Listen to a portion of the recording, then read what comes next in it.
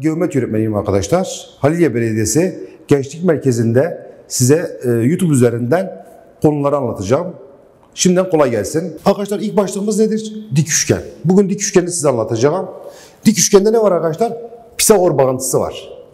Pisagor bağıntısı. Adı üstünde dik üçgen. Yani arkadaşlar iki kenarın dik kesişmesiyle oluşan şekle ne denir arkadaşlar? Dik üçgen denir. Ben bir ABC üçgeni çizdim. Burada hipotenüs nedir arkadaşlar? BC uzunluğu. Dik kenarlar AB ile AC. Ben buraya A diyorum. Burası B, burası C mi?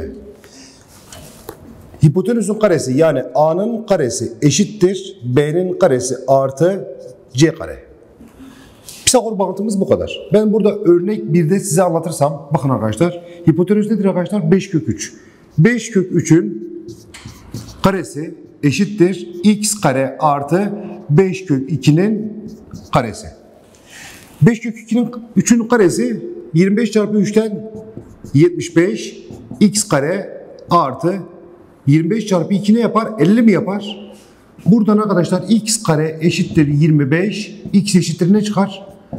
Burada 5 çıkar arkadaşlar. Yani x'imizin değeri burada 5 olur. Şimdi burada da bir mantık daha var arkadaşlar. Burada da bir e, hipotenüsümüz var arkadaşlar. İki tane hipotenüsümüz var. BC'yi bana 12 birim vermiş. Burası x ise burası 12 eksi x. Bakın arkadaşlar burada bir yükseklik var. Ben bu ABH üçgeni ile AHC üçgeni için orta bir kenar var. Burası y değil midir?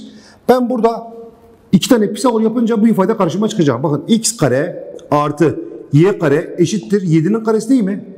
Sonra buradan y'nin karesi artı 12 eksi x'in karesi eşittir 13'ün karesine. Bakın ben burada e, y'leri yok edersem yani üst tarafı eksiyle çarparsam e, y kareler birbirini götürür. Eksi 49 şeklinde olur. Buraları açalım arkadaşlar. 12 eksi x'in karesi nedir arkadaşlar? Birincinin karesi 144. Birinci ile ikincinin çarpımının iki katı. Eksi 24x artı x kare. Eksi x kare eşittir. 13'ün karesi eksi 7'nin karesi. 169 eksi 49. Tabi buradaki ifadeyi iki kare farkından da yapabilirdiniz arkadaşlar. Yani 13 eksi 7 artı 13 artı 7 şeklinde. Burada arkadaşlar x kareler birbirini götürür. Ee, buradan x eşittir 1 çıkar. Yani buradaki bu işlemi yaparsa arkadaşlar x ne olur arkadaşlar? 1 olur. Bu soru tipine geçelim. Örnek 3'ümüze geçelim arkadaşlar. Şimdi burada normalde x kare eşittir 12'nin karesi artı 18'in karesi. Yani 18'in karesini almamıza ve 12'nin karesini almamıza aslında burada gerek yok. Şimdi 12 nedir arkadaşlar? 6 çarpı 2 midir? Burası da 6 çarpı 3 müdür? Bakın biz buradaki 6'ları ortak değil mi? Ben burada eşittir 6 çarpı ne çıkacak? Yani 3'ün karesi, 2'nin karesi, buradaki buraya da k diyorum. K'nın karesi eşittir 2'nin karesi artı 3'ün karesi. K kare eşittir 13 yapar. K eşittir burada ne olur arkadaşlar? Kök 13. Yani buradaki bu ifade 6 kök 13 yapar. Yani benim size anlatmak istediğim burada direkt arkadaşlar 30 olabilir, 45 olabilir şeklinde olduğu zaman biz bunları ortak katlarını alıp 2 ve 3'ün karesini aldığımız zaman ifademiz yine çıkıyor. Şimdi burada da az önceki sorumuzun hemen hemen aynısı. Bakın burada bir Pisagor yapacağım. Sonra burada bir Pisagor yapacağım değil mi? Şimdi birinci üçgende en başta AHC üçgeninde Pisagor yaparsak. Ben buna ne diyorum? Y diyorum. Bakın y'nin karesi artı 12'nin karesi eşittir 13'ün karesi. y'nin karesi eşittir 13'ün karesi eksi 12'nin karesi değil mi? Arkadaşlar karelerini alıp da işlem yapabilirsiniz. Ya da iki kare farkından da gidebilirsiniz. y'nin karesi eşittir 13 eksi 12 çarpı 13 artı 12. Burası 1 yapacak arkadaşlar. 25. Y eşittir burada ne çıkar arkadaşlar? Y kare eşittir 25 de y ne olur? 5 olur. Burası ne oldu? 5 oldu. Burada şimdi Pisagor yapıyorum ben. 6'nın karesi eşittir 5'in karesi artı x kare. 36 eksi 25 eşittir x kareden x eşittir kök 11 olur. Şimdi Buradaki üstteki soruya bakalım arkadaşlar. Bu soruda ne demiş bana? AB ve AC'yi tam sayı vermiş bana değil mi? AB ile AC tam sayı. Yani burası tam sayı çıkacak. Burada x kare eşittir y'nin karesi artı kök 11'in karesi. x kare eksi y kare eşittir 11'den. x eksi y çarpı x artı y eşittir 11'den arkadaşlar değil mi? Şimdi bakın arkadaşlar burada iki kare fark oluştu ya. Bu 11'de bir asal sayı değil mi? Ben buraya 1 desem burası 11 midir? Yani x eksi y eşittir 1, x artı y eşittir 11 mi? Taraf tarafa topladığım zaman y'ler gider. x eşittir ne olur buradan? 6 olur. y de ne çıkar? x 6 ise y de 5'tir. Tabi e, bunda sınavda olsun veya başka bir yerde karşınıza çıktığı zaman 11 değil de 10, direkt kök 11 değil de 11 verseydi size 121 yapardı. Biri 121 alırdınız. Yani iki kare farkına. Hani farklı farklı soru tipleri çıkar. Şimdi dik üçgenle ilgili son sorumuzu çözelim. Bakın arkadaşlar.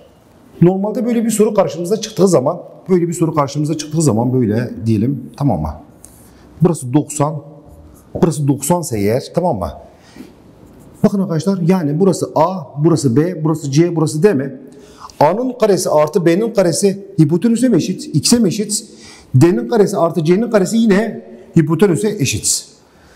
Ben burada e, karşımızda daha farklı bir soru tipi var. Burada arkadaşlar hem bu kenarı bilmiyorum, hem bu kenarı bilmiyorum, hem bu kenarı bilmiyorum. Şimdi ben buraya y diyorum, buraya y diyorum arkadaşlar. Bakın. Şimdi buraya da böyle k diyoruz. Şimdi burada Pisagor'a girirsem, Pisagor'a girirsem y'nin karesi eşittir k'nın karesi artı altının karesi değil mi? E, buradan e, k ifadesi ne yapar? Kök içinde y'nin karesi eksi 36 yapar değil mi bu işlemi yaparsak? Ha şimdi ben buradan b ile d'yi birleştirip Pisagor bağıntımı yapacağım. Şimdi x kare artı y kare buraya mı eşit? x kare artı y kare eşittir arkadaşlar hipotenüse. Peki burası da kaç birim? 10 birim. Onun karesi artı y kök içinde y ek, kare eksi 36'nın karesi değil mi arkadaşlar? Bu işlemi yaparsam arkadaşlar x kare artı y kare eşittir 100 artı açarsam burayı y kare eksi 36 mı? Bakın arkadaşlar burada y kareler birbirini götürdü mü? Götürdü. 100'den 36 çıksam x kare eşittir 64. x eşittir ne yapar? 8 birim yapar. Yani arkadaşlar bakın burada gördünüz mü? Farklı bir çözüm yöntemi kullandık. Buradan faydalanıp burayı y türünden bulduk. Sonra Pisagor'dan soruyu çözdük arkadaşlar. Bir önceki derste dik üçgeni anlatmıştım. Şimdi Pisagor, e, Pisagor anlatmıştım arkadaşlar size. Şimdi özel üçgenleri anlatacağım size. Ee, ÖSYM gerçekten hani sınav sorularını özel üçgenlere göre sorar. Tabii bunların katları şeklinde sorar. Ben bunu size bir kısaca anlatayım arkadaşlar neyin nereden geldiğine. Bir başlayalım bir. Arkadaşlar bizim ilk başlığımız 3, 4, 5 üçgeni. Yani 3K, 4K, 5K. Şimdi ben zaten adı üstünde 3, 4, 5 üçgen dedim değil mi? Bakın arkadaşlar buraya 3K desem, buraya 4K desem burası ne olacak? 5K olacak. Ben ne demek istiyorum burada? K'nın değerleri var. K'ya ben 1 verirsem 3, 4, 5. 2 verirsem 6, 8, 10 üçgene diye gider. Kısa kısa örnekler yazalım arkadaşlar bunlarla ilgili. Bakın ben buraya 6 desem, buraya 8 desem ne demek istediğimi anlatacağım size. Şimdi bakın bu 6 3 çarpı 2 değil midir? 8 4 çarpı 2 değil midir arkadaşlar? Bakın bu 4'leri ortak alıyorum ben. 3, 4 ne üçgen olacak? 5 üçgen olacak değil mi? Ne yapar? 5 kere 2 10 yapar. Yani burada biz e, kaya değer vereceğiz. 3 versem ben 9, 12, 15 üçgeni diye gider. 4 versem 12, 16, 20 üçgen diye gider. 5 versem 3 kere 5 15, 4 kere 5 20, 5 kere 5 25 şeklinde gider arkadaşlar. Sıradaki başlığımız arkadaşlar 5, 12, 13 üçgeni. Bakın arkadaşlar burası 5K, burası 12K, burası 13K. Sonrakisi 7, 24, 25. Yani burası 7K, 24K, burası 25K yapar. Öğrencilerin en çok unuttuğu üçgeni çizeyim size ben. 8K, 15K, 17K. Tamam arkadaşlar. En çok unuttuğumuz şekil bu. 8, 15, 17 üçgeni nedense öğrenciler bir bakışta hemen Pisagor'a girmeye çalışıyorlar. Tabii Pisagor'dan da çıkıyor yani. Siz burada zaten 8'in karesi 64, 15'in karesi 225. Bakın 64 artı e, 225. Ne işte arkadaşlar? 17'nin karesi eşit. 289'a eşit. Zaten Pisagor'un hani mantığı bunu kapsıyor. Pisagor buradan geliyor arkadaşlar. Bunların yani 3'ün karesi artı 4'ün karesi neye eşit arkadaşlar? 25'e eşit. Bakın ben bir örnek yazmışım. Bu şekilde baktığım zaman birinci şekilden başlayacağım. Zaten arkadaşlar geometride var ya ilk öğrenci soruya baktığı zaman hani buraya bakarsa arkadaşlar zaten bu soruyu çözemez. Hani iki tane bilinmeyen var burada. İki tane bilinmeyen olduğundan dolayı soru ister istemez karşımıza hani çözümünü yapamayız. Ama birinci kez üçgene bakıyorum. Bakın 3, 4 ne üçgeni? 5 üçgeni değil mi? Buraya baktığımız zaman 5, 12 ne üçgeni arkadaşlar?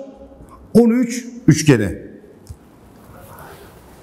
Bu soruya bakalım arkadaşlar. Bakın bu soruya baktığımız zaman AB'yi 2 birim vermiş, CD'yi 4 birim vermiş arkadaşlar. BC'yi de bana 8 birim vermiş. Şimdi bu soruyu çözmem için benim bir dik üçgen oluşturmam lazım. Bakın arkadaşlar zaten buradan bir şekil oluşturursak böyle. Ne olur arkadaşlar burada bir dik üçgen oluşur değil mi? 2 birimse AB 2 birimse burası da 2 birim değil mi? BC'yi 8 birim vermişti. Yani burası 8 birim. BC 8 birimse burası da 8 birim yapar değil mi arkadaşlar? Bakın 6, 8 ne üçgeni arkadaşlar? 10 üçgeni. Benden AD'yi istiyor. Yani arkadaşlar buraya x deseniz buraya 8 eksi x deseniz teker teker bulsanız arkadaşlar çok uzun bir işlem olur. İşlem hatası yaparsınız çıkmaz arkadaşlar. Olmaz. Direkt burada bir dik üçgen oluşturup soruyu çözmemiz lazım. Bu soruya bakalım arkadaşlar. Ne demiş? A noktasında bulunan bir kuş K noktasına konup yani geliyor arkadaşlar burada bir K noktasına konuyor. K noktasına tekrar D noktasına konuyor arkadaşlar. Bakın A noktasında bulunan bir kuş K noktasına konup tekrar D noktasına konuyor. AK artı KD'nin en küçük tam sayı değeri. Bana AB'yi 3 birim vermiş. CD'yi 2 birim vermiş arkadaşlar. BC'nin de tamamını ne vermiş arkadaşlar? 12 birim vermiş. Şimdi ben bu şekilde baktığım zaman benim yine bir dik üçgen oluşturmam lazım. Ama nasıl oluşturacağım? Zaten buradaki bu binalar birbirine dik değil mi? Bakın arkadaşlar ben bu D noktasını burada bir noktaya taşıyacağım. Buradan getirdim buraya taşıdım. Buraya getirdiğim zaman bak burasıyla burayı birleştirdiğim zaman ikiz kenar üçgende indirilen dikme tabanı iki eş parça bölüyor değil mi? Bakın burasıyla burası eşit oldu. Değil mi? Şimdi buradan burayı uzattığım zaman ben buraya geldiğim zaman burası 2 birim ise burası da 2 birim. BC 12 ise burası da 12 değil mi? Bakın burada karşıma çok güzel bir dik üçgen çıktı arkadaşlar. Bundan sonrası çok basit zaten. 5, 12 ne üçgendir bu?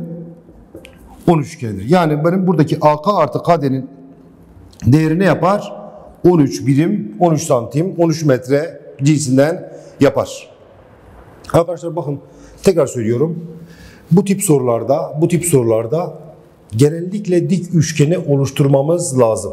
Ne yapacağız? Ya bir kenarı bir kenara taşıyacağız ya da şekli dik üçgene ne yapacağız? Dönüştüreceğiz. Tamam arkadaşlar devam ediyoruz. Dördüncü sorumuza bakalım arkadaşlar. Dördüncü sorumuza baktığımız zaman ben bu ED'ye en başta ED'yi bulmam lazım. Bakın zaten buradaki e, BD uzunluğunu bilmiyorum, ED uzunluğunu bilmiyorum. Ben burada bir Pisagor yaparsam çıkmaz arkadaşlar. Ne yapacağım? Ben burada yapacağım. Şimdi buradan bir Pisagor yaparsam arkadaşlar y'nin karesi artı 40'ın karesi eşittir 41'in karesi değil mi? y'nin karesi eşittir 41'in karesi eksi 40'ın karesi. Ben bu soruyu onun için yazdım. İki kare farkını uygulayabilmeniz için yazdım arkadaşlar. Y kare eşittir 41 eksi 40. 41 artı 40 yapar arkadaşlar. Burası bir birimdir. Burası 81'dir. Y ne oldu? 9 mu oldu arkadaşlar? Bakın y'yi 9 bulduk. Şimdi buradaki üçgene bakıyorum ben. 9, 12 ne üçgenidir? Yani arkadaşlar e, ezberleyebilirsiniz ya da 3 çarpı 4, 3 çarpı 3. Üçleri sabit tutalım. 3, 4 ne üçgeni? 5 üçgeni mi? Ne yapar? 5 kere 3, 15 birim yapar. Yani 9, 12, 15 üçgeni. Bu da zaten arkadaşlar bir özel üçgen. 8, 15 ne üçgeniydi? 17 üçgeni yaptı.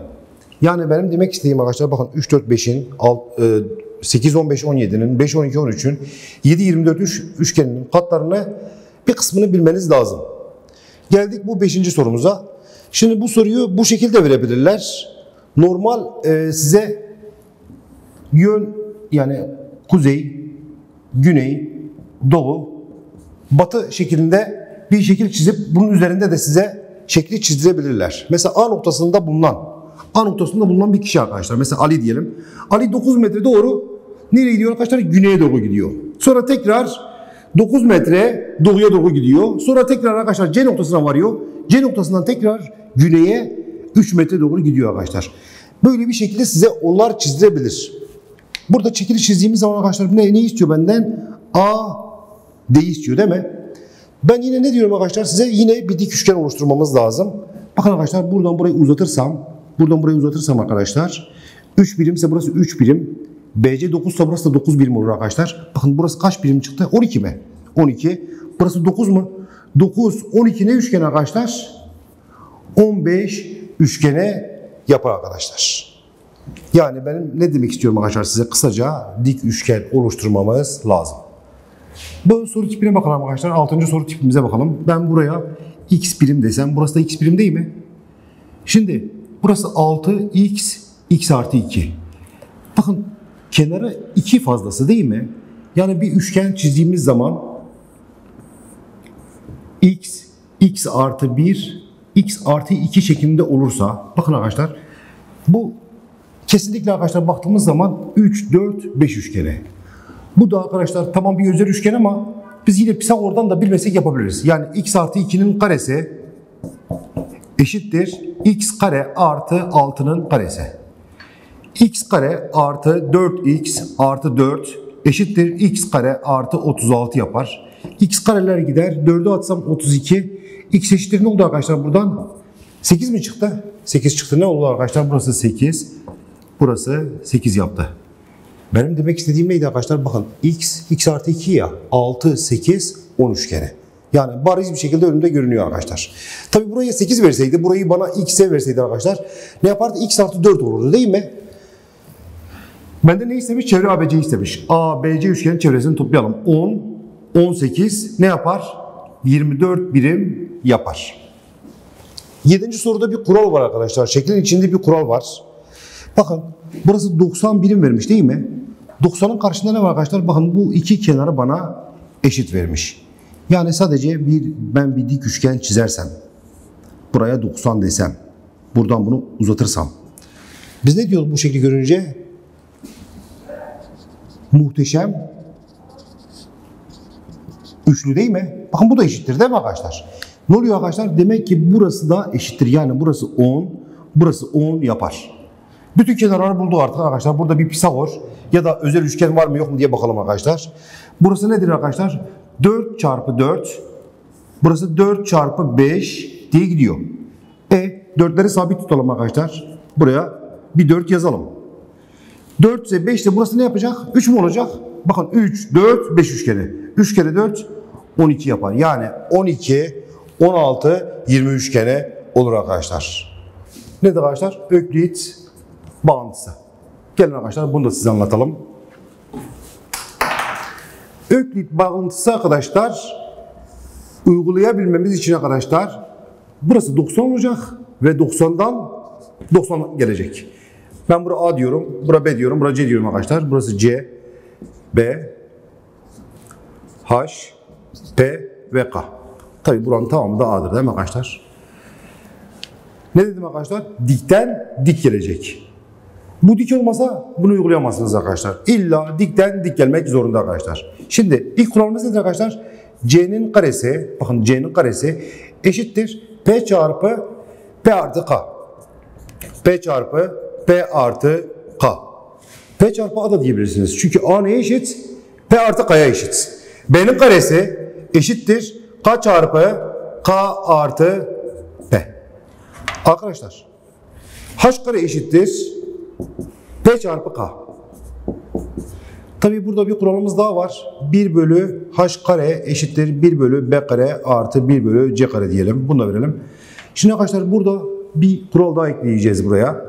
Şimdi üçgende alan formülünden kullandığımız bir formül var. Taban çarpı yükseklik alan mıdır? Yani A çarpı H bölü 2 alan. Peki B çarpı C bölü 2 de alan değil mi? Yani ne diyeceğim ben? A çarpı H eşittir B çarpı C'ye. Yani bu kural neden geliyor arkadaşlar? Alan konusundan geliyor. A çarpı H eşittir. A çarpı H eşittir. B çarpı C'ye arkadaşlar. Örneklerle pekiştirelim arkadaşlar. Şimdi burada benden bu HC'yi mi istemiş arkadaşlar? HC uzunluğumuz bakın arkadaşlar yüksekliğin karesi buradaki formülden yapacağım. H kare eşittir P çarpı K'dan.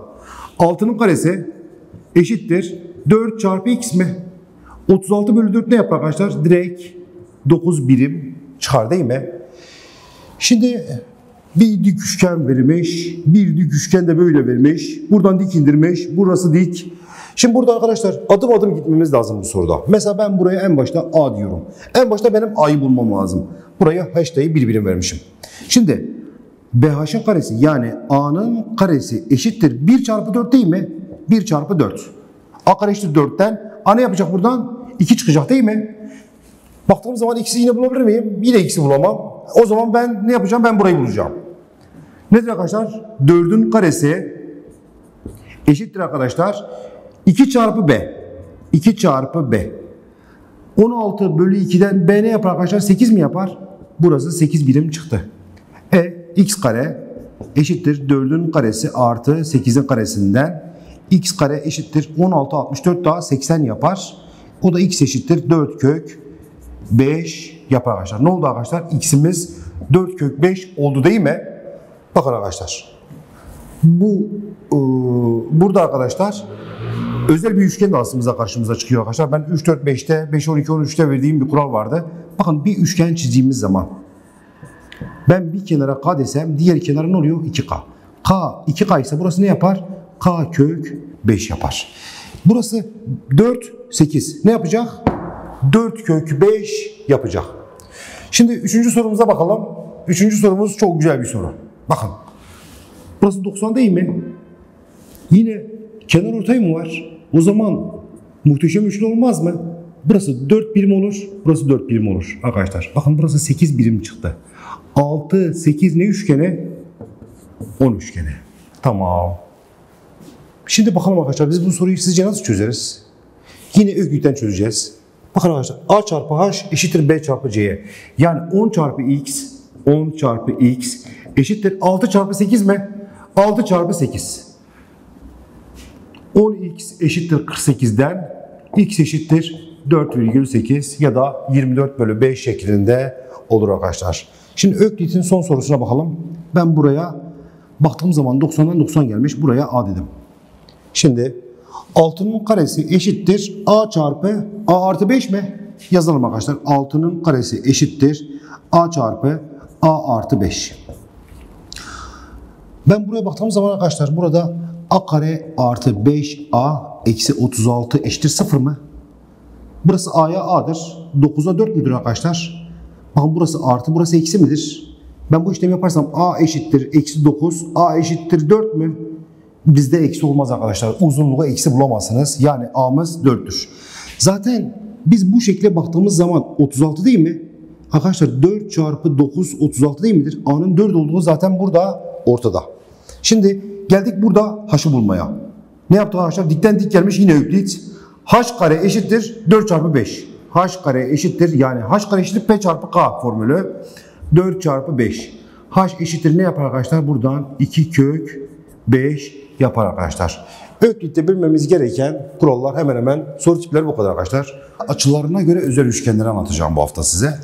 Açılarına göre özel üçgenler yani e, yine dik üçgen diye bir başlık atalım biz. İlk başlığımız ne arkadaşlar? 30, 60, 90 üçgeni. Şimdi ben bir dik üçgen çizersem Buraya 60 derece desem burası 30 derece değil mi arkadaşlar? Niye? Bir üçgenin iç açılar toplamı 180 derece. Bunun bir kuralı var. 30'un karşısına ben x desem 90'ın karşılığı ne yapacak arkadaşlar? 2 x yapacak. Bakın 30'un karşısı x, 60'ın karşısı ne yapacak? Bu x'in kök 3 katı. x kök 3 yapar. Bakın bir kısaca bir örnek çözelim bununla ilgili.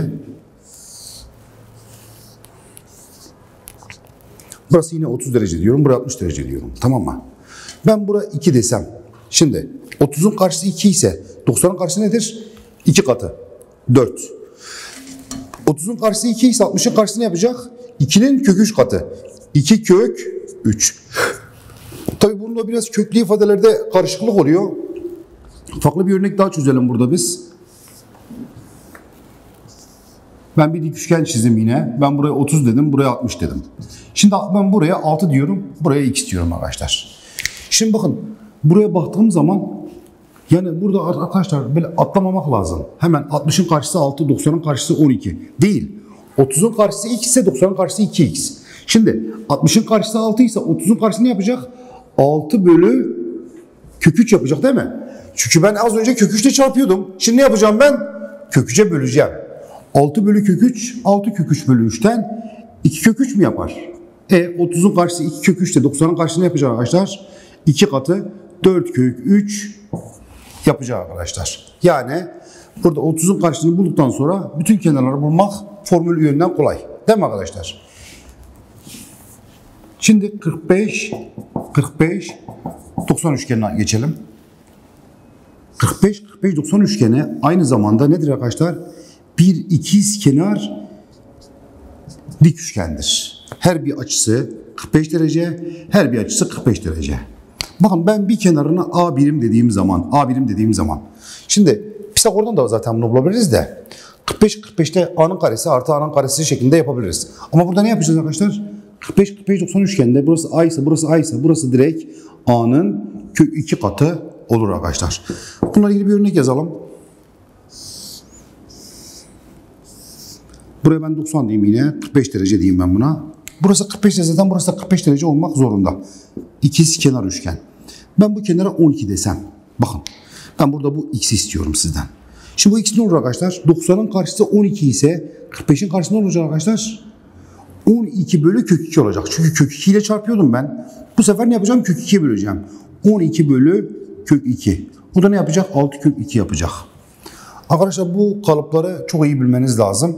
A, A, A kök 2.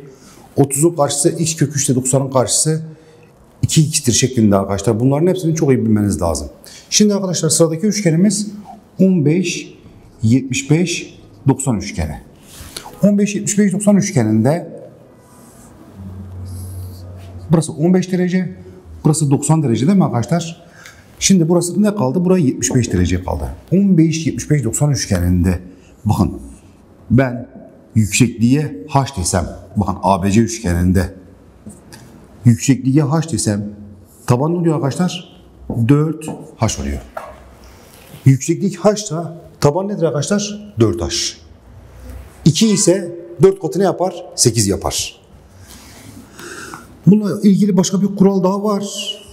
Hani e, formül olarak ezberlemenizi istemiyorum arkadaşlar. Burası 90 derece, burası 15 derece. Tamam mı? Şimdi mesela buraya bana x verdi. Burayı x türünden bulacağım ben. Veya 2 verdi. 2 türünden bulacağım diyeyim ben size. Şimdi burası 75 derece değil mi arkadaşlar? Ben buradan 15 derecelik bir açı alırsam. Burası 15 derecelik bir açı alsam. 15. Burada ne kaldı? 60 derece mi kaldı? 15, 15 de burası ne yapar? 30 derece yapar değil mi? Bakın bir de burada bir ikiz kenar üçgen oluştur bize. Şimdi başlıyorum ben. 30'un karşısı x ise 90'ın karşısı nedir arkadaşlar? 2x. Burası da 2x midir? 30'un karşısı x ise 60'ın karşısı nedir arkadaşlar? x kök 3. Yani ben bu üçgeni çizersem. Bakın burası 15, burası 75 mi? 15'in karşısı x ise 75'in karşısı neymiş? 2x artı x kök 3. Bunu bu şekil ezberleyebilirsiniz ama hani benim tavsiye ettiğim yöntem bu yöntem arkadaşlar. Şimdi arkadaşlar ne kaldı? 30, 30, 120 üçgeni var. 30, 30, 120 üçgeni yine aynı zamanda ikiz kenar üçgen değil mi arkadaşlar? Burası 120 derece, burası 30 derece, burası 30 derece mi? Bakın arkadaşlar ben bu kenara x desem, bu kenara x desem 120'nin karşısında oluyor arkadaşlar? x'in kök 3 katı oluyor arkadaşlar. Bakın x, x, x kök 3. 5 ise 5 de ne yapar? 5 kök 3, kök 3 şeklinde olur arkadaşlar. Şimdi bununla ilgili arkadaşlar e, özel üçgenlerimiz mantığı bu kadar ama Tabii bunların soru tipleri var. Sadece burada dik üçgen şeklinde bize sormazlar bunları. Ee, soru tipleri var bunların. Soru tiplerine geçelim arkadaşlar. Şimdi bakın birinci soruya baktığımız zaman burası 45 derece, burası 6 kök 2, burası 14. Değil mi arkadaşlar? Şimdi arkadaşlar bu konuda arkadaşlar bir mantık var. Dikme indirmemiz lazım.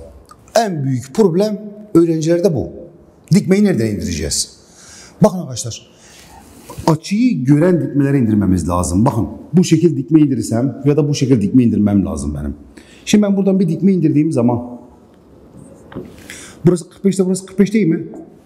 Bakın 90'ın karşısı 6 kök 2 ise 45'lerin karşısı 6 6 olmayacak mı? 14'ten 6 çıksam ne kalır? 8 mi? Bakın 6 8 daha 14 değil mi? Bu üçgene bakıyorum ben. 6 8 ne üçgen arkadaşlar? 10 üçgeni. 3 4 5 üçgenimiz, özel üçgenimiz vardı ya. Onun tam iki katı. Şimdi örnek 2'ye bakalım arkadaşlar. Örnek 2 harika bir soru. Yine ABC üçgeni yazalım böyle tamam mı? Arkadaşlar şimdi bu soruya baktığımız zaman ben buradan dikme indirirsem samimi söyleyeyim çıkmaz arkadaşlar. Niye? Ha bir de var ya arkadaşlar 15 75 90 üçgeni oluşturmamaya çalışın. Oluşturursanız olmuyor arkadaşlar bu işler. Bunda burası eksik verilmiş. Şimdi bakın arkadaşlar ben burada dikmeme buradan buradan değil arkadaşlar. Bakın iki açıyı gören dikme indireceğim. İki açıyı da bakın burada hem 45 45 90 üçgeni hem burada 90 60 ne üçgeni arkadaşlar? 30 üçgeni var. Şimdi 90'ın karşısı 8 kök 6 ise 45'lerin karşısı ne yapacak arkadaşlar? Ne yapıyordum ben? Kök 2'ye bölüyordum değil mi? Ne yapar? 8 kök 3 8 kök 3 yapar değil mi? 60'ın karşısı 8 kök 3 ise 30'un karşısı ne arkadaşlar? 8'dir değil mi? Bakın 30'un karşısı 8 ise 60'ın karşısı 8 kök 3. Yani kök 3 ile çarpacağım. 30'un karşısı 8 ise 90'ın karşısı ne yapacak arkadaşlar? Tam 2 kat yapacak. 16 yapar arkadaşlar. Arkadaşlar bakın hakikaten bu örnek 3'e bakalım bir. Şimdi örnek 3'e baktığımız zaman yani bu konu aslında var ya arkadaşlar biz diyoruz ya özel üçgenler özel üçgenler. Ben bu konuya başka bir başlık taktım arkadaşlar. Diyorum ki müsait bir yerden dikme indirmemiz lazım. Bakın siz burada bu soruyu gördüğünüz zaman hemen en başta dikmeyi buradan indiriyorsunuz. Burası 7 ise burası 7 bölü kök 2. Burası 7 bölü kök 2 şeklinde mi? Yani benim bu işlemi yapmaya matematiğim yeter de çok uzun sürür arkadaşlar. Sınavda böyle bir soru çıksa var ya bunun işlemine en az, en az 5 dakika gider arkadaşlar. 5 dakika gider. Ama ben size ne diyorum arkadaşlar? Bakın soruda ipucu aslında soru içinde. Bakın burası 5 kök 2 değil mi? 135 derece değil mi? Bakın ben buradan burayı uzatırsam, ben buradan bir dikme indirirsem. Bakın burası 45 derece, 45 derece değil mi? 90'ın karşısı 5 kök 2 ise buralar 5 5 olmayacak mı? Şimdi arkadaşlar bakın. Burası kaç birim? 12. 5, 12 ne üçgeni var? 13 üçgeni var. 30 saniye arkadaşlar gördünüz mü? Ama az önceki yöntemden dikmemi ben buradan indirseydim. Ha çıkar mıydı? Çıkar arkadaşlar. Niye çıkmasın ki? Çıkar. İşlem her zaman sağlar arkadaşlar. Yine oradan 13 çıkacak. Ama arkadaşlar sınavda bu soru çıktığı zaman o işlemle yaparsanız 5-10 dakika vaktiniz gider. Ama burada 30 saniyede çözülebilecek bir soru. Dördüncü örneğe bakalım. Dördüncü örneğe, baktığım zaman arkadaşlar şimdi burası 15 derece, burası 30 derece. Bakın arkadaşlar bizi aslında bize çözümden uzaklaştırıyor gibi geliyor bana. Yani ben burayı soruda verseydi bana, burayı 135 derece verseydi yine aynı mantığı yapabilirdim. Ama arkadaşlar 15-30 daha 45 yapıyor, burası 135 derece. Şimdi ben buradan dikme indirirsem arkadaşlar bu soru çıkmaz arkadaşlar. Yani sonuca ulaşamam. Ne yapacağım ben? Müsait bir yerden yine bir dikme indireceğim değil mi? Bakın ben buradan burayı uzattığım zaman, buradan burayı uzattığım zaman burası 90 mı? Bakın burası 45 derece, 45 derece değil mi? 2 kök 2 ise burası 2 2 miydi? Niye? 45 45 90 üçgeni neydi arkadaşlar? 2 2 2 kök 2 şeklinde oluyor arkadaşlar. Şimdi bakıyorum buraya ben. Bu üçgene bakıyorum ben tamam mı? Bakın oluşan bir üçgen var. Bak ben bu üçgeni aslında buraya çizsem.